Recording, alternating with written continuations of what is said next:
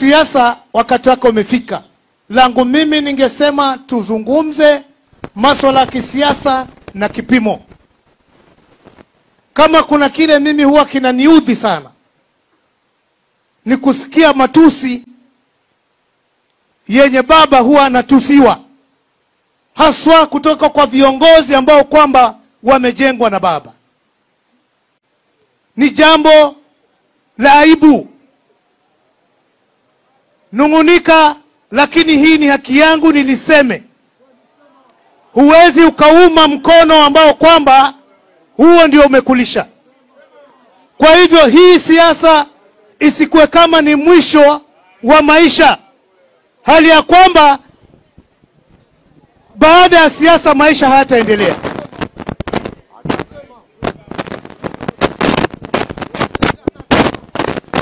Heshima lazima tuidumishe.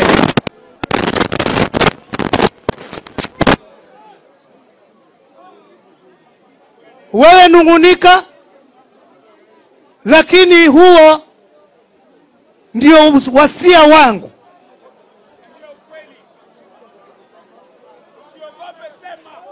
Juzi mi naona wengine nasema baba ameanguka mara nne, ataanguka mara tano. Wewe ni nani wewe useme kitu kama hiyo?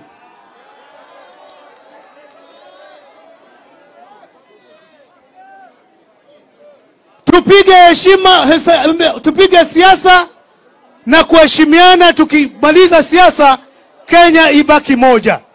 Kwa hayo mengi, nasema Warabai, tuweni pole sote. Asanti uh, Mtembei. Majina yangu ni Zakaria Kariuki Dirango. Karibu sana, hapa ni Kamuru. Kabla hujafika Kamuru shopping center iko between Lwai na Kamuru. Hii shamba iko mahali kunaitwa Kipawa, uh, 100 meter kutoka Kangudo Road. Umejionea wewe mwenyewe uh, kuna supermarket. Ishabani next to high school. Uh, so karibu sana Mtembei. Yes. Nimefurahi sana kwanza, hii area inakaa smart sana. Maybe siku ya leo nataka tueleze our viewers tuko hapa kwa sababu gani? tunataka tuwaelezee ya kwamba Nairobi bado haijaisha.